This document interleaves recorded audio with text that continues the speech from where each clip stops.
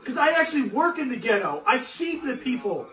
Do you know why I they're in that and I position? see these people. Do you understand the systematic and historical reason for why they're in that position? They don't care.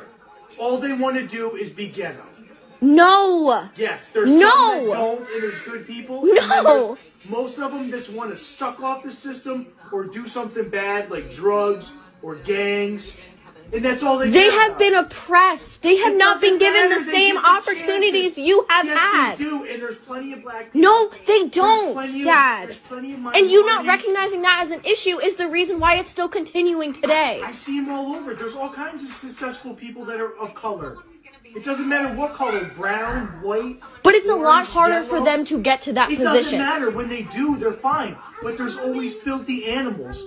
You're is- calling you're calling people of color black No. animals. You're calling them animals. I'm talking. You Are you finish. kidding me? You didn't let me That- finish. that's not okay. talking about the No, no matter what, that's not okay. No matter what, it's It not okay. okay. Racism is not okay. Why do you think that racism is okay?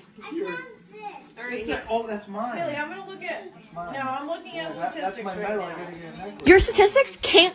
They can be warped. Statistics can be warped. You want to show? You want me to show you videos? So why are my- Do you want me to show you videos of cops? Why is I why are will do it. Statistics wrong. Because they can be Right. warped. I'm not giving statistics right now. They can be warped. Personal experiences can't. No, because this is actually putting it into play.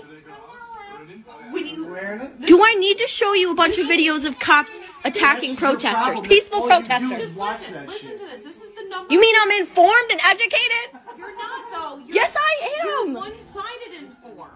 Mom, I was watching political stuff and you said to turn that off because you don't want to hear about it. Because That I'm means that I am hearing it. educated on it and you are not. it.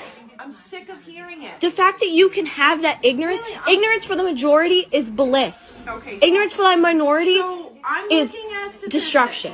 that are wrong.